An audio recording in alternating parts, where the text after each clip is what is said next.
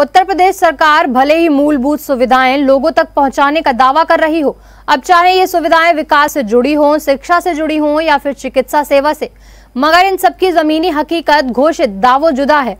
जी हाँ हम बात कर रहे हैं रामपुर के जिला अस्पताल में बिजली सप्लाई को लेकर आ रही उस समस्या की, जो इन दिनों काफ़ी बदतर हालत में है। जिला अस्पताल के मुख्य चिकित्सा अधिकारी डॉक्टर एच के मित्रा के मुताबिक किसी जगह से जिला अस्पताल के लिए सरकारी डीजल उधार आता था उन्होंने भी उधार देने से मना कर दिया। ऊपर से पैसे नहीं आ रहा है जिसके कारण बिजली की जिला अस्पताल में समस्या हो रही है।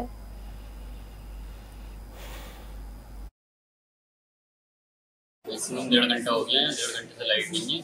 अच्छा तो क्या कराना है थे ये स्कैन कराना है। तो यहाँ लाइट बिल्कुल नहीं आ रही है? पब्लिक खड़ी है सभी परेशानी। हो रही है।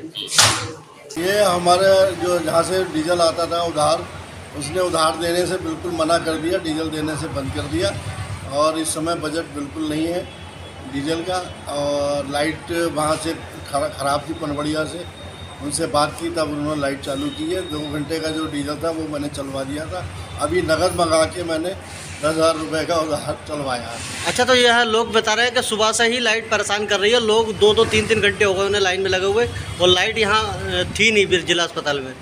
नहीं बीच में हमने चलवा दो घंटे जनरेटर चलवाया था। लाइट सुबह से नहीं थी वो पनवड़िया से ख़राब थी।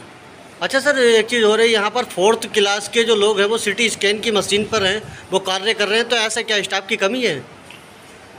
फोर्थ क्लास हमारे यहाँ का कोई नहीं उनका अपना सिटी स्कैन का अपना स्टाफ है उससे हम हमारे से यहाँ से संबंध नहीं। अच्छा तो आप जो आपकी देख रेख में नहीं है CT scan? CT scan private agency है उसमें रिंकू के एक उनका इंचार्ज है उसकी देख रेख में होता है।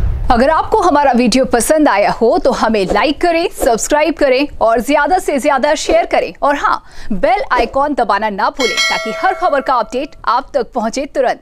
आप हमें इंस्टा ट्विटर और फेसबुक पर भी फॉलो कर सकते हैं। हमारी आईडी है at the rate J M D news